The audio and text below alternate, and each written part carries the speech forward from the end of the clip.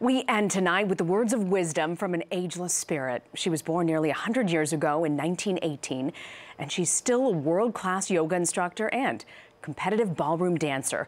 She shared her secrets to a long and meaningful life with Roxana Saberi.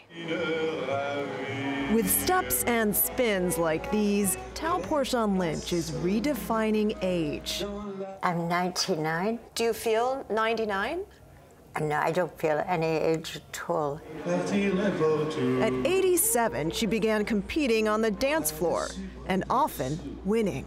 I do nearly everything from a jitterbug to waltz, foxtrot, and I d- don't stop.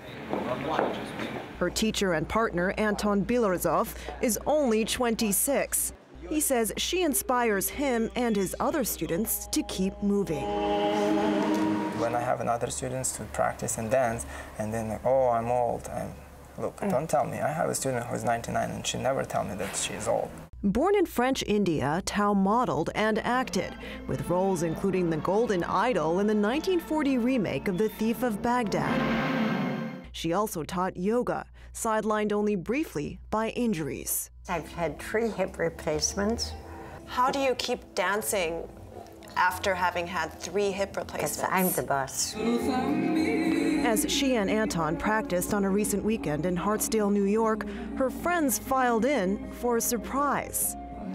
Guinness World Records have decided to award you with the title for the oldest female competitive dancer.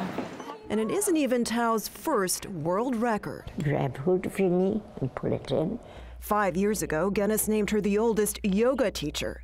She still holds seven classes a week for newcomers like me That's it. and longtime students. she's shown me that you just you gotta try Where do you get all of this energy? The breath of life. The breath of life is right inside of us.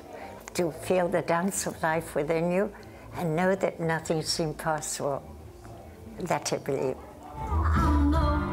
And to share that dance with others, she says, is the best reward of all. Roxana Saberi, CBS News, in Hartsdale, New York.